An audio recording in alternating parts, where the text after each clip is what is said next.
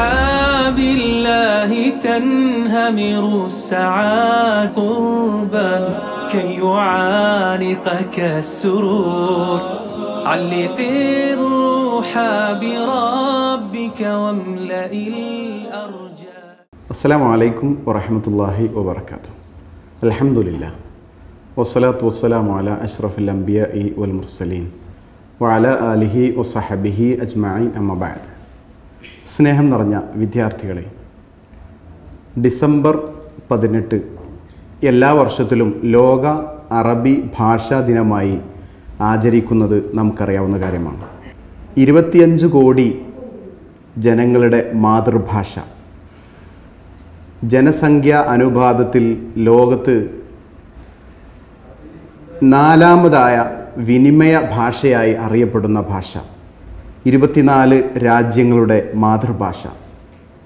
ആയിരത്തി തൊള്ളായിരത്തി എഴുപത്തി മൂന്ന് മുതലാണ് യുനെസ്കോയുടെ അംഗീകാരം ലഭിച്ച ഭാഷയായി യു എൻ അംഗീകൃത ഭാഷകളിൽ അറബി ഭാഷ ഉൾപ്പെട്ടിരിക്കുന്നത്.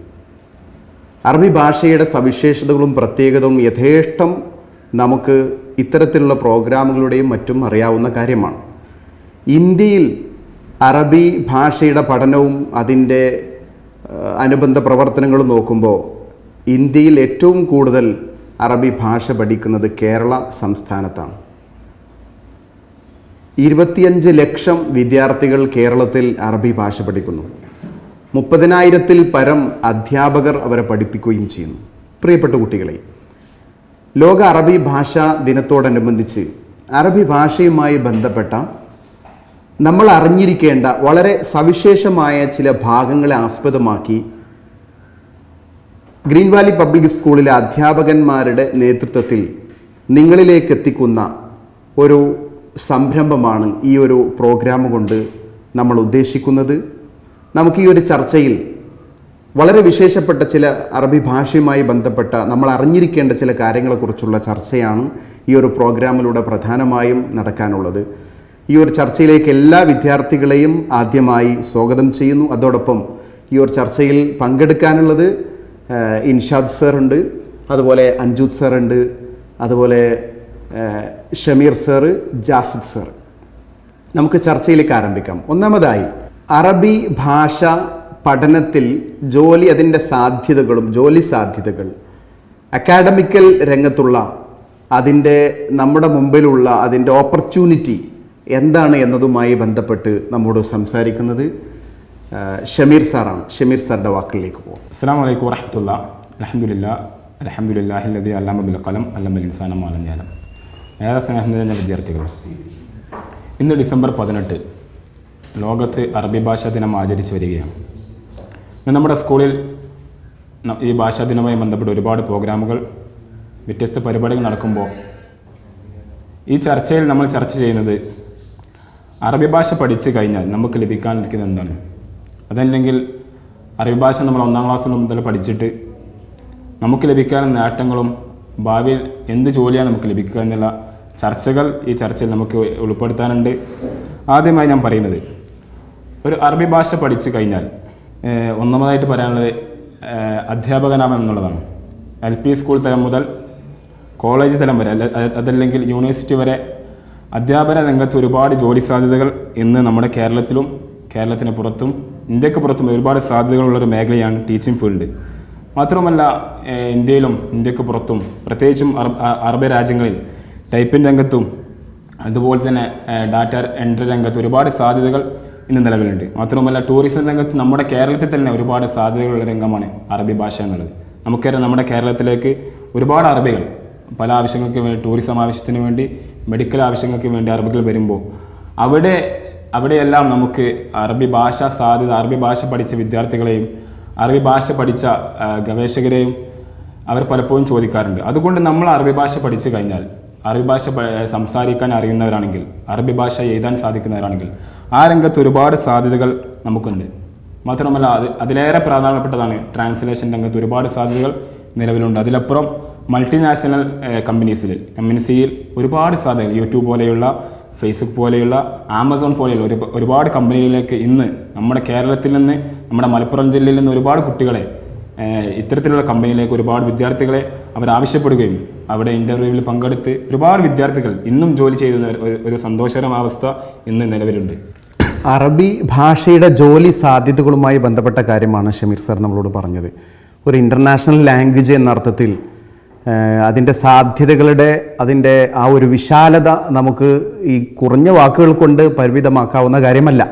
എന്നിരുന്നാലും കുറഞ്ഞ കാര്യങ്ങൾ കുറഞ്ഞ സമയത്തിനുള്ളിൽ സാർ നിങ്ങളെ ബോധ്യപ്പെടുത്തി.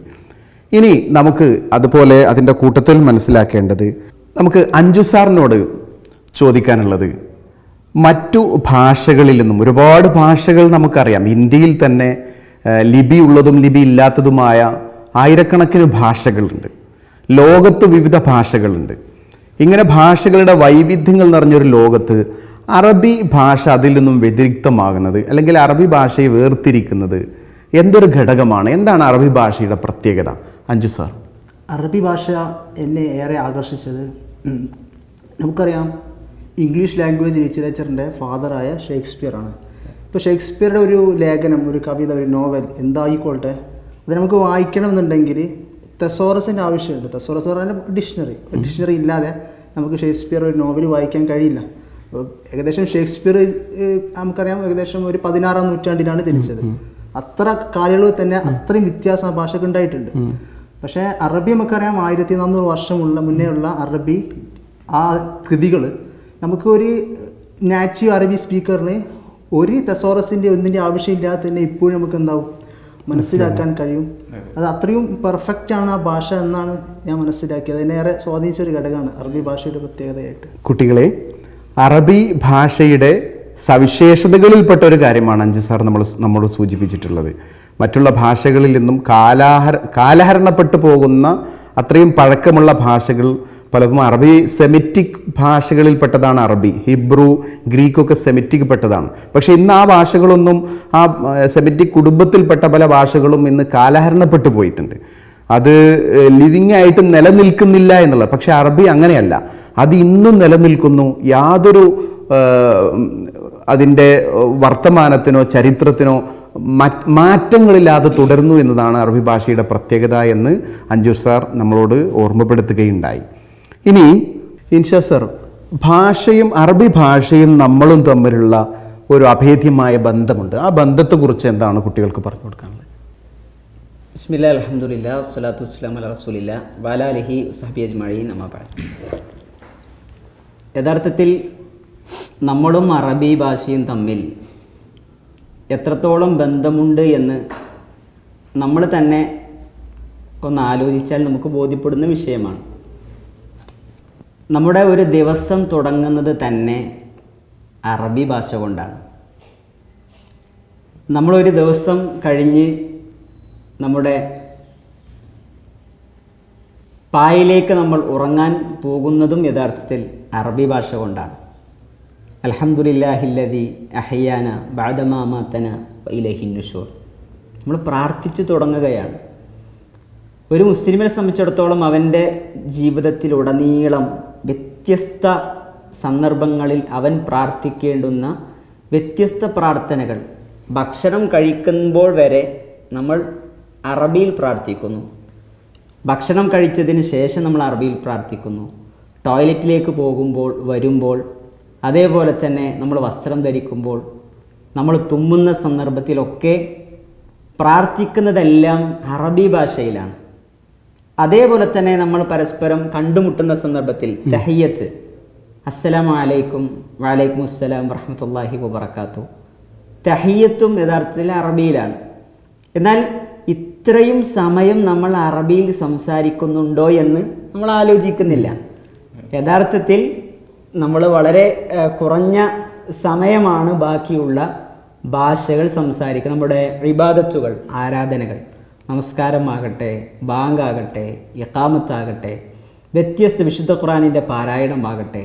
അവിടെയൊക്കെ അറബി ഭാഷയിൽ നമ്മൾ ഈ വിഷയങ്ങൾ കൈകാര്യം ചെയ്യുന്നു എന്നുള്ളത് ഒരു വിശ്വാസിയെ സംബന്ധിച്ചിടത്തോളം അത്രത്തോളം അഗാധമായ ബന്ധം അറബി ഭാഷയുമായിട്ടുണ്ട് എന്ന് നമുക്ക് ബോധ്യപ്പെടും. അറബി പറയാത്തൊരു ദിവസം കഴിഞ്ഞു പോകുന്നില്ല അതെ അറബി പറയാത്ത ഒരു ദിവസം എന്നതിനപ്പുറം അപ്പുറം അറബി ഭാഷ കഴിയാതെ മണിക്കൂറുകൾ വരെ ചിലപ്പോൾ കഴിഞ്ഞു പോകുന്നില്ല എന്നിടത്താണ് യഥാർത്ഥത്തിൽ വസ്തുതയുള്ളത്. പക്ഷേ പലപ്പോഴും നമ്മൾ അത് ആലോചിക്കുന്നില്ല. എനിക്ക് അറബിയൊന്നും അത്ര അറിയില്ല എന്ന് പറയുന്ന ആളുകൾ തന്നെ ഒരു ദിവസം അറബി എത്ര പദങ്ങൾ ഉച്ചരിക്കുന്നുണ്ട് എന്ന് നോക്കുമ്പോൾ അവർക്ക് തന്നെ എണ്ണി നോക്കിയാൽ യഥാർത്ഥത്തിൽ അത്ഭുതപ്പെടും. അത്രത്തോളം അറബി ഭാഷ നമ്മൾ ഓരോ ദിവസവും കൈകാര്യം ചെയ്യുന്നു എന്ന് തന്നെയാണ് നമ്മൾ മനസ്സിലാക്കുന്നത്.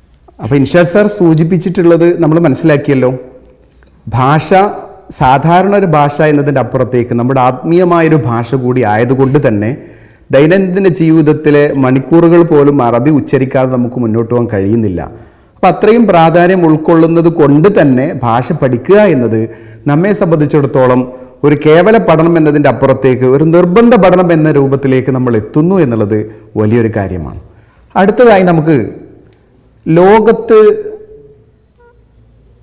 ഭൗതിക ശാസ്ത്രത്തിലും അതുപോലെ സയൻസിലുമൊക്കെ എല്ലാ രംഗങ്ങളിലും വലിയ സംഭാവനകൾ നൽകിയ മെഡിക്കൽ ഫീൽഡിലുമൊക്കെ വലിയ സംഭാവനകൾ നൽകിയ ആളുകളുടെ ചരിത്രം പരിശോധിക്കുമ്പോൾ അവിടേക്ക് എത്തുന്ന അറബി സ്കോളേഴ്സിലേക്കാണ് എത്തുന്നത് എന്ന് നമുക്ക് മനസ്സിലാക്കാൻ കഴിയും. ഈ വിഷയവുമായി ബന്ധപ്പെട്ട് നമ്മോട് സംസാരിക്കുന്നത് ആ വിഷയവുമായി ബന്ധപ്പെട്ട് ഉള്ള ചർച്ചയിൽ നമ്മോടൊപ്പം ചേരുന്നത് നമ്മുടെ പ്രിയപ്പെട്ട അധ്യാപകൻ ആഷിർ സാറാണ്. ആഷിർ സാറിലേക്ക് നമുക്ക് പോകാം. ഇപ്പോൾ നമ്മുടെ ശാസ്ത്രത്തിന്റെ ഫിസിക്സ് ആകട്ടെ കെമിസ്ട്രി ആകട്ടെ ബയോളജി ആകട്ടെ നമ്മൾ ആധുനിക ശാസ്ത്രവുമായി ബന്ധപ്പെട്ട് നമ്മളതിന്റെ പിറകിലേക്ക് പോയാൽ ഓൾമോസ്റ്റ് നമ്മൾ ഇന്നൊക്കെ പഠിക്കുന്നത് നമ്മുടെ പുസ്തകത്തിലൊക്കെ പഠിക്കുന്നത് യൂറോപ്പിലാണ് നമ്മുടെ ഈ ശാസ്ത്രത്തിന്റെ അല്ലെങ്കിൽ ഭൗതിക ശാസ്ത്രത്തിന്റെ ഒക്കെ ഒരു ഉപജ്ഞാതാക്കളുള്ളത് അല്ലെങ്കിൽ അതിൽ പിതാക്കന്മാർ അറിയപ്പെടുന്നത്. നമ്മൾ സത്യസന്ധമായി ശാസ്ത്രം പഠിച്ചാൽ നമുക്ക് മനസ്സിലാവും അവരെല്ലാം ഈ വിജ്ഞാനം കൈവരിച്ചത് ആധുനിക അവർക്ക് മുമ്പ് കഴിഞ്ഞു പോയ ആയിരം നൂറ്റാണ്ടുകൾക്ക് മുമ്പ് കഴിഞ്ഞു പോയ സ്കോളേഴ്സ് അറബിക് സ്കോളേഴ്സിൽ നിന്നാണ് ഇതെല്ലാം നേടിയെടുത്തത്. അല്ലെങ്കിൽ അവ- അവരിൽ നിന്ന് അവരിൽ നിന്ന് ലഭിച്ച വിദ്യാഭ്യാസത്തിന്റെ വിജ്ഞാനത്തിന്റെ ഉറവിടത്തിൽ നിന്നാണ് അവരൊക്കെ തുടർന്ന് പഠിച്ചിട്ട് വന്നത് നമുക്ക് കാണാൻ പറ്റും. ഉദാഹരണം ഞാൻ ഒന്ന് രണ്ട് ഉദാഹരണങ്ങൾ പറയാം. ഇപ്പം അൽ കവാരിസ്മി അദ്ദേഹമാണ് നമ്മളിപ്പം അൽജിബ്ര. അൽജിബ്ര പഠിക്കുമ്പോൾ നമ്മൾ അൽജിബ്ര പഠിക്കുന്നുണ്ട്. അതിന്റെ എങ്ങനെയാണ് അൽജിബ്ര എന്ന് പക്ഷേ നമ്മൾ കൂടുതൽ പിറകോട്ട് പോയാൽ ആരാ കണ്ടുപിടിച്ചത് അതിന്റെ ഉപജ്ഞാതാവ് ആരാണ്? അതിന്റെ പിതാവ് ആരാണെന്നൊക്കെ നോക്കുമ്പോൾ അതൊക്കെ ചെന്നെത്തുന്നത് ഈ അറബിക്. സ്കോളേഴ്സിലെ ആൾക്കാണ് അൽ കവാരിസ്മി അദ്ദേഹം അദ്ദേഹത്തിന്റെ അദ്ദേഹമാണ് അൽഗോരിതം അൽജിബ്ര എന്നിവ മാത്തമാറ്റിക് മാത്തമാറ്റിക്സിൽ അദ്ദേഹം അദ്ദേഹത്തിന്റെ കോൺട്രിബ്യൂഷൻസിൽ നിന്നാണ് ഈ അൽജിബ്ര ഡെവലപ്പ് ചെയ്ത് വന്നത് തന്നെ. അപ്പോൾ ശരിക്കും ഫാദർ ഓഫ് അൽജിബ്ര എന്ന് പറയേണ്ടത് കവാരിസ്മിയാണ്. അതാണ് അദ്ദേഹമാണ് ഇതിന്റെ പിതാവ് എന്നറിയപ്പെടുന്നത് അതുപോലെ മറ്റൊരു പറയുകയാണെങ്കിൽ നമ്മൾ father of modern medicine medicine അത് നോക്കുകയാണെങ്കിൽ അത് കാര്യമായിട്ട് നടത്തിയതുള്ളത് ഇബിനു സീന. അവിസന്ന. അഭിസന്ന എന്നറിയപ്പെടുന്നത് നമ്മളെ നമ്മുടെ പുരാതന ലൈബ്രറിയിലൊക്കെ പോയി കഴിഞ്ഞാൽ നിന്നൊക്കെ കാണുന്നത് അവിസന്ന എന്ന് പറയപ്പെടുന്ന Ibn സീനയാണ് is the real father of modern medicine മെഡിസിനുമായി ബന്ധപ്പെട്ട അദ്ദേഹത്തിന്റെ ഒരുപാട് ആയിരക്കണക്കിന് പുസ്തകങ്ങളിൽ നിന്നും ഇന്നും ഒരു നാനൂറിൽ പരം പുസ്തകങ്ങൾ ഇന്നും മോഡേൺ മെഡിസിൻ ഉപയോഗപ്പെടുത്തുന്നുണ്ട്. അത്രയും വിജ്ഞാനപ്രദമായിട്ടുള്ള കോൺട്രിബ്യൂഷൻസ് ആണ് അദ്ദേഹത്തിന്റെ ഭാഗത്ത് ഉണ്ടായിരിക്കുന്നത്. ഇപ്പം ഈ ഫിസിക്സിന്റെ കാര്യത്തിൽ ഇപ്പോൾ ഇപ്പോൾ നമ്മൾ നമ്മൾ പഠിച്ചിട്ടുണ്ട്. ഭൂമി കറങ്ങുന്നത് ആദ്യമായിട്ട് കണ്ടുപിടിച്ചതൊക്കെ ഗലീലിയോ എന്ന് നമ്മൾ പഠിച്ചിട്ടുള്ളൂ. പക്ഷേ ഗലീലിയോക്കും അറുന്നൂറ് വർഷങ്ങൾക്ക് മുമ്പ് അദ്ദേഹം അൽ ബിറൂമി എന്ന് പറയുന്ന ഒരു അറബിക് സ്കോളറാണ്. ശാസ്ത്രത്തിൽ സത്യ അത്യസം സത്യസന്ധമായി ഭൂമി അതിന്റെ അച്ചുതണ്ടിൽ കറങ്ങുന്നുണ്ടെന്ന് ആദ്യമായിട്ട് കണ്ടുപിടിച്ചാണ്. പക്ഷെ നമ്മൾ നമ്മുടെ എന്തോ നമ്മളെ ഒരു നമ്മളെ അറബി എന്നുള്ളതിന്റെ വിര- വിരോധത്തിന്റെ പേരിലോ അല്ലെങ്കിൽ ഇസ്ലാമുമായി ബന്ധപ്പെട്ട വിരോധത്തിന്റെ പേരിലോ എന്തോ നമ്മുടെ ശാസ്ത്ര മേഖലയിൽ എന്തുണ്ട്? ഇതുപോലെയുള്ള അറബി സ്കോളേഴ്സിന്റെ കോൺട്രിബ്യൂഷൻസ് ഒട്ടുമിക്കതും നമ്മൾ എന്ത് ചെയ്തിട്ട് മറച്ചു വെച്ചിട്ടുണ്ട്. അങ്ങനെ തന്നെ പറയണം മറച്ചു വെച്ചേക്കാണ് അവർക്ക് അറിയാം സംഗതി ശരിക്ക് വന്നത് ഇബിനു സീന ഇബല പോലുള്ള അറബിക് സ്കോളേഴ്സിൽ നിന്നാണ്. പക്ഷേ അവരെന്ത് ചെയ്യാണ്? ഇപ്പം നമ്മുടെ വിദ്യാഭ്യാസം നടക്കുന്ന പോലുള്ള ഒരു പിന്നീട് ആ പിന്നീട് ആ മേഖലയിൽ പിന്നെ അവരെ പിന്തുടർന്ന് മുസ്ലിങ്ങൾ വലിയ സംഭാവനകൾ വന്നിട്ടില്ല എന്നതുകൊണ്ടായിരിക്കും അതൊരു കാരണമാണ്. കാരണം അത്രയും അന്നത്തെ കാലത്തുള്ള കോൺട്രിബ്യൂഷൻസും ഇന്നിപ്പോ നമ്മൾ? പശ്ചാത്യരാണ് അതിൽ കൂടുതൽ റിസർച്ച് പാശ്ചാത്യർ ഇപ്പൊ എന്ത് വന്നാലും ഒന്നുകിൽ അമേരിക്കൻസ് അതല്ലെങ്കിൽ യൂറോപ്യൻസ് എന്ന രീതിയിലേക്ക് അതുകൊണ്ട് അവർ നമ്മളെ കുട്ടികൾ എന്ത്. ചെയ്യാണ്? അവരാണ് ഇതിന്റെയൊക്കെ പിതാക്കന്മാരെന്ന് തെറ്റിദ്ധരിക്കപ്പെടുകയാണ്. അതുപോലെ തന്നെ വേറെ പ്രധാനപ്പെട്ടവരാണ് ഇബിൻ റുഷ്ദ് അസ്ട്രോണമിയിലെ അതുപോലെ മൊമെന്റം എന്നൊക്കെ പറയുന്ന ഇതിന്റെ പിന്നിൽ പ്രവർത്തിച്ച് ഇതിന്റെയൊക്കെ ബേസിക് നോളേജ് ആദ്യം ശാസ്ത്രത്തിന് കോൺട്രിബ്യൂട്ട് ചെയ്ത വ്യക്തികൾ അധികം ഈ അറബിക് സ്കോളേഴ്സാണ് അങ്ങനെ ഒരുപാട് നല്ല കോൺട്രിബ്യൂഷൻസ് കൊടുത്ത ഒരു വിഭാഗമാണ് ഈ അറബിക് സ്കോളേഴ്സ് സ്പെഷ്യലി നമ്മളെ മെഡിസിൻ ആകട്ടെ ഫിസിക്സ് ആകട്ടെ കെമിസ്ട്രി ആകട്ടെ മാത്തമാറ്റിക്സ് ആകട്ടെ ശാസ്ത്രത്തിന്റെ ഒരുവിധ ബേസിക് നോളജുകളൊക്കെ കൊടുത്ത പ്രധാനികളിൽ ഇവർ തന്നെയാണ്. നിൽക്കുന്നത് അപ്പോൾ പ്രിയപ്പെട്ട കുട്ടികളെ ആഷിർ സാറിന്റെ വാക്കുകൾ നമ്മൾ കേട്ടല്ലോ. വളരെ പ്രധാനപ്പെട്ട നമ്മൾ പലപ്പോഴും അറിയാതെ പോകുന്ന ഒരു വലിയ ഒരു പോയിന്റിലേക്കാണ് അദ്ദേഹം നമ്മളെ കൊണ്ടെത്തിച്ചിട്ടുള്ളത്. നമുക്കിനി ഈ ഭാഷ ഇത്രയും വികസിതമായ ഒരു രൂപത്തിൽ കാണുന്ന ഭാഷയും ഭാഷയുടെ അനുയായികളും ലോകത്ത് നടത്തിയിട്ടുള്ള വിപ്ലവങ്ങളെക്കുറിച്ചൊക്കെ നമുക്ക് ഈ രൂപത്തിൽ മനസ്സിലാക്കാൻ കഴിഞ്ഞു. ഇത് പഠിക്കുന്ന ആളുകളാണ് നമ്മൾ. ഈ ഭാഷ പഠിക്കുന്നിടത്ത് അത് വളരെ എളുപ്പമാണ് ഭാഷ വലിയ ഒരു ഒരു പ്രയാസകരമായ ഒന്നല്ല. ഭാഷ പഠിക്കുന്നിടത്ത് അത്രയും എളുപ്പത്തിലുള്ളൊരു സംഗതിയാണ് എന്ന് എന്നതിലേക്കുള്ള ചില കാര്യങ്ങൾ നമ്മളെ ഓർമ്മപ്പെടുത്തുന്നത് പ്രിയപ്പെട്ട ജാസി സാറാണ്. ജാസി സാറിന്റെ വാക്കിൽ. അസ്സാം വലൈക്കും വറഹമത്തല്ലാഹി വർക്ക ബിസ്മില്ലാ അലഹമില്ല സ്വലാത്തു വസ്സലാം അല റസൂലില്ല വാല അലിഹി വസഹബിഹി അജ്മായിൻ അമ്മാബ അറബിക് ഡേയിലെ ഒരു പ്രോഗ്രാമിലാണ് നമ്മളെല്ലാവരും ഉള്ളത്. അറബി ഭാഷ അതിന്റെ പഠനം വളരെ എളുപ്പമാണ്. പല കുട്ടികളും അറബി ഭാഷ വളരെ പ്രയാസമാണ് എന്ന് അനുഭവം പങ്കുവെക്കാറുണ്ട്. അപ്പോൾ അവരോടൊക്കെ അധ്യാപകർ പറയാറുള്ള ഒരു കാര്യം ആദ്യമായി ഏതൊരു ഭാഷയാകട്ടെ അത് പഠിക്കുമ്പോൾ ആ ഭാഷയോട് താല്പര്യം ഉണ്ടാവണമെന്നാണ് അപ്പോൾ ഏതൊരു കാര്യം നമ്മൾ പഠിക്കാൻ ആഗ്രഹിക്കുന്നുണ്ട് എങ്കിൽ അതിനോടുള്ളൊരു താല്പര്യം നമുക്കെല്ലാവർക്കും ഉണ്ടാകണം. അപ്പോൾ അറബി ഭാഷ പഠിക്കുവാൻ ആദ്യമായി നമുക്കുണ്ടാവേണ്ടത് താല്പര്യമാണ്. അതുപോലെ തന്നെ നമുക്കറിയാം ലുഗത്തുൽ ഖുർആൻ ഖുർആാനിന്റെ ഭാഷയാണ് അറബി ഭാഷ. ആ ഖുർആൻ അറബിയിലായത് നമുക്ക് ചിന്തിക്കാൻ വേണ്ടിയാണ്. നമ്മൾ മനസ്സിലാക്കാൻ വേണ്ടിയാണ് അറബിയിൽ ഇറക്കിയിട്ടുള്ളത് എന്ന് വിശുദ്ധ ഖുർആൻ നമുക്ക് കാണാൻ സാധിക്കും. അപ്പോൾ നമ്മൾ ആദ്യമായി അറബി പഠിക്കുന്ന അറബി പഠിക്കാൻ ആഗ്രഹിക്കുന്ന കുട്ടികൾ എന്ത് ചെയ്യണം? അറബിയുടെ ബേസിക് നമ്മൾ പഠിക്കണം. ആദ്യം തന്നെ ഒരു ഏതെങ്കിലും ഒരു കഥ എടുത്ത് അല്ലെങ്കിൽ കവിത എടുത്ത് പഠിക്കാതെ ഹറൂഫുൽ ഹിജായ അക്ഷരങ്ങൾ മുതൽ അതിന്റെ ബേസിക് പഠിച്ചുകൊണ്ട് നമ്മൾ അറബിയിൽ മുന്നേറുന്നുണ്ട് ഈ അവസരത്തിൽ നാല് കാര്യങ്ങളാണ് നിങ്ങളിലേക്ക് ഉണർത്താൻ ഉദ്ദേശിക്കുന്നത്.